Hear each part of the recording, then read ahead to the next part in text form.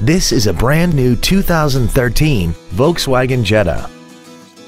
This four-door sedan has an automatic transmission and a 2.5-liter inline five-cylinder engine.